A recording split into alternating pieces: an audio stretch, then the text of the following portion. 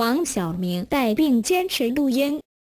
被勒令停工。网易娱乐十二月二十四日报道，日前黄晓明录制语音导航的花絮视频曝光。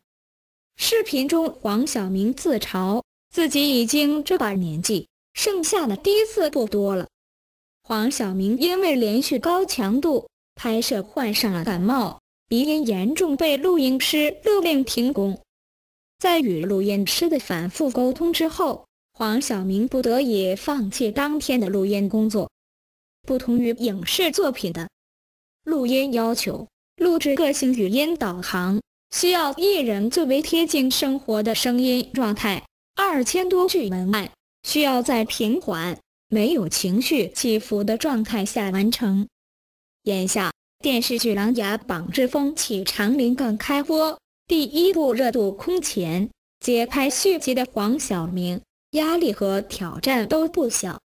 在此前接受采访时，黄晓明曾表示不怕被骂，但他万万没想到，在录制语音导航的现场就接到了几位热心粉丝的批评。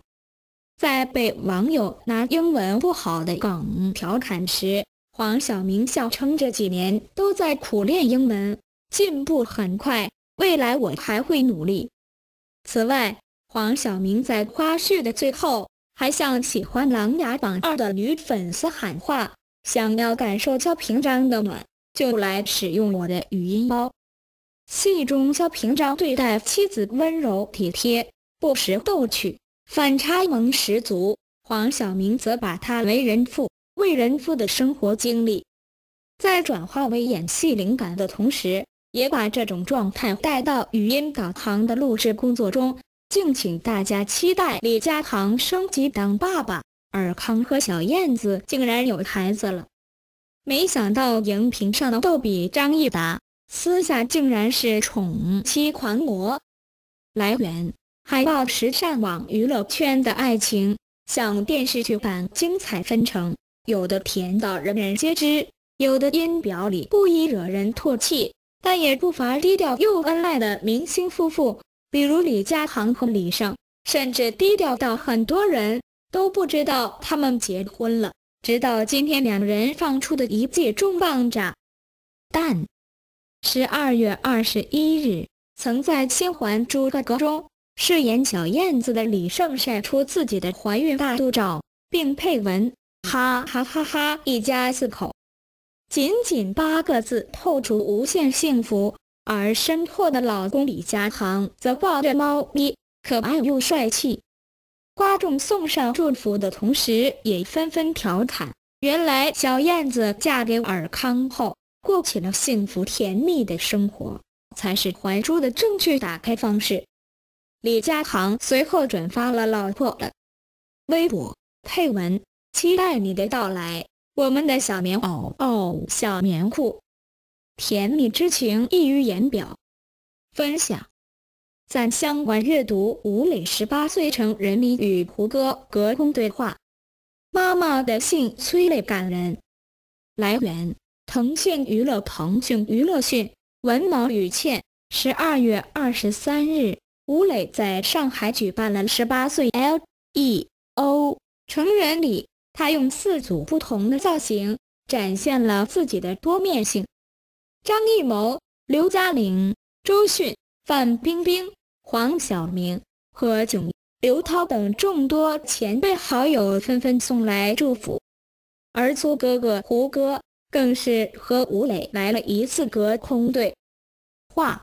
二人从初次见面聊到成年愿望，从如何做个好演员。聊到对演员职业的好奇和困惑，还定下了一次齐航的约定。成人礼由吴磊的四个经典角色的全息投影开场：可爱活泼的娜扎，呆萌纯真的飞流，率性开朗的胡一峰，热血自私的萧炎。正当大家沉浸其中时，吴磊一袭干净利落的白衣现身舞台。行云流水的武术动作和全息投影配合无间。除了开场时小试身手之外，成人礼现场还特别安排了古风舞剑的环节。站在台上的吴磊目光坚毅，动作刚柔并济。吴磊也没有忘记把自己最爱的篮球带上舞台，颀长的身材、阳光的笑容，加上帅气的投篮姿势，完美重现了学生时代每个女孩都会憧憬的篮球校草形象。而这位校草不带球技了的，更是十分暖心。成人礼当天设置了多个粉丝互动环节。腾讯视频 Doki 的幸运粉丝也抽到了上台互动机会，从知识抢答到小游戏花样不少。吴磊期间多次送出粉丝福利，花式宠粉引发尖叫不断。另外，鲜少在公开场合开嗓的吴磊，也在现场吉他弹唱了粉丝们期待了许久的儿时。一身牛仔套装的他轻声唱着。放学路打闹嘻嘻哈，田埂间流水哗啦啦。二十寸彩电皮沙发，五点半，大风车动画，我们就一天天长大。虽然不是职业歌手，但吴磊的表现也是可圈可点。现场还有一个特别环节，吴磊妈妈的一封信令他感动落泪。妈妈用平时的语言回顾了儿子十八年来的一些小事。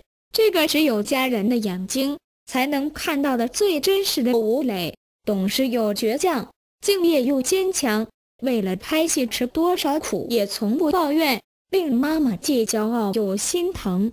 吴磊妈妈数度哽咽，在信的结尾，吴磊妈妈特别提到，希望儿子能永远带着正直、感恩的心，走好未来的每一步。有这样善良又豁达的妈妈，也难怪吴磊成长成了我们能想到的男孩最美好的样子。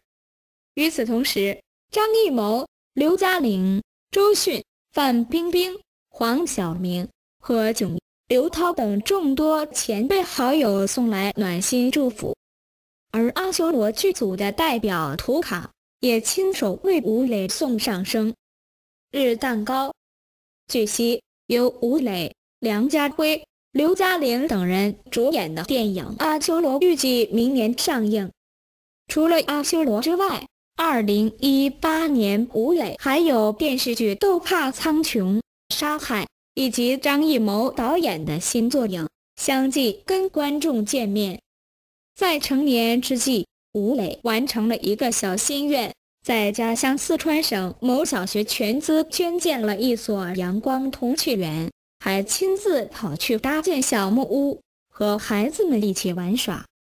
他希望这座小木屋能够丰富孩子们的课余生活，给孩子们带来更多的温暖。这是吴磊公益路的开始，也是吴磊和孩子们一起成长的新起点。